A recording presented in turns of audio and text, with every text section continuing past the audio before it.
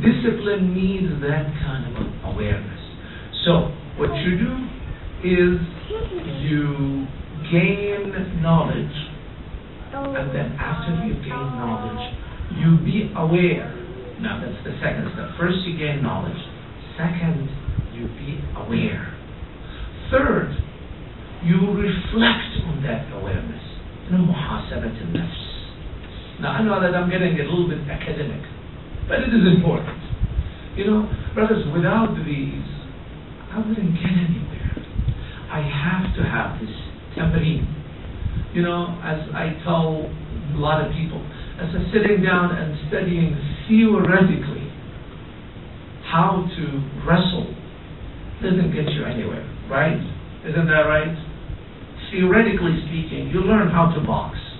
Okay, this is how you defend, this is how you punch, this is how you protect yourself. But if you do not practice it, it doesn't amount to anything. So you've got to practice. Worship, why do we have worship? It is the practice. Worship is only the mechanical aspect of tarbiyah, discipline. Same thing, we have to deal with our beautiful, beloved children to get them better and better and better. One of the scholars he said, discipline requires three stages. What are these three stages? Now, please pay attention. I know sometimes I said we have to be a little bit, a little bit academic.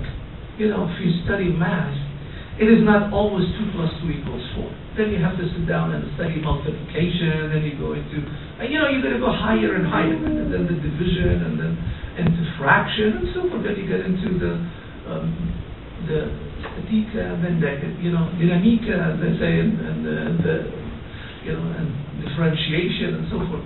So the higher you go becomes a little bit more difficult. And the world, you have to be better and better and better to discipline yourself. What are these three steps? These three steps are as following. Number one, تخلية. Now pay attention. It is تخلية and then tahliya, and then tanbiyah. These are the three stages of tarbiyah. What am I talking about? Let me give you a little introduction to the, these three stages of tarbiyah. Do you know why one of the most important sentences, matter of fact, the core of our faith is what? Is the word La ilaha illallah. If you notice, La ilaha begins with a negative aspect. Why it is negative aspect? Have you ever thought about it? Why? Why Allah subhanahu wa ta'ala starts us with a negative rather than positive?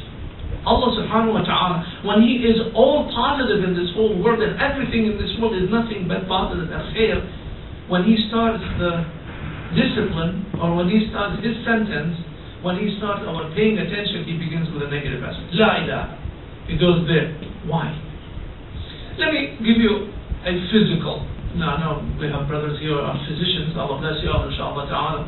We give you a physical aspect.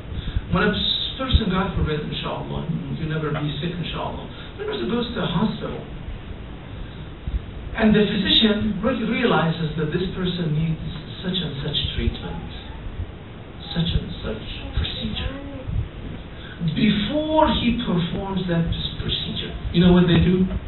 There's something called tahliya. You know, first they see if he has any uh, uh, diseases, so they treat that diseases. Because they, let's say that they want procedures to go inside, they want to put a stethoscope, whatever they want to do, you know, physically speaking.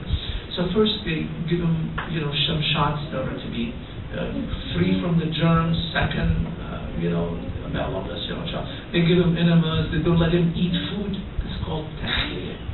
Let him out. You know, they don't give him that day in the morning. They don't even give him food. There's no breakfast, no no anything until they take him to the procedure or surgery. May Allah Subhanahu wa Taala never ever lets you be sick.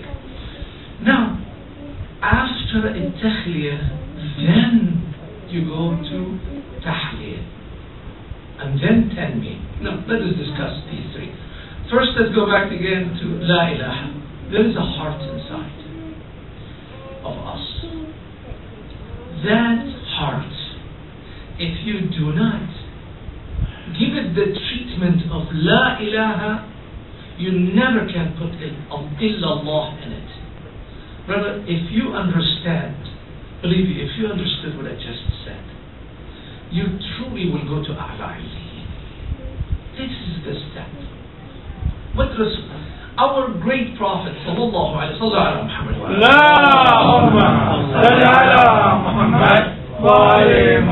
when he came he gave us one sentence. He said qulu what? La ilaha illallah. Tuflihu that's it.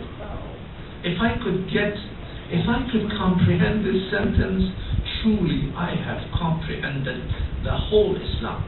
I have comprehended the whole Quran. I have comprehended the whole akhlaq, the ethics, the morality of Islam. This is the sentence. It is that deep. This sentence is very deep. And if you realize, it is first La ilaha. So therefore, what is tahiyya? Now that I give you a little bit of a, uh, of a introduction, month of Rajab must be the month of tahiyya. Tahiyya from what? Brother, if there is animosity in our hearts, we do not know what is Islam. What is Islam? What is the meaning of Islam? Doesn't Islam mean peace? Islam, means what? It's peace, right? And peace is from As-Salam, right? Sahih la? So therefore, if a person is a true Muslim, he is at peace and he is at what? At Salam, this person is at health and why he is at peace?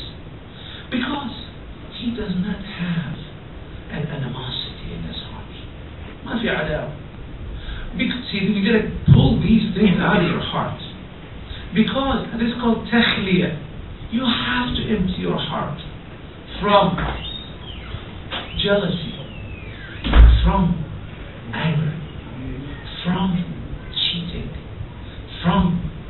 even laziness. You know, a lot of from conniving, from plotting bad things. These are the bad things. From takabbur.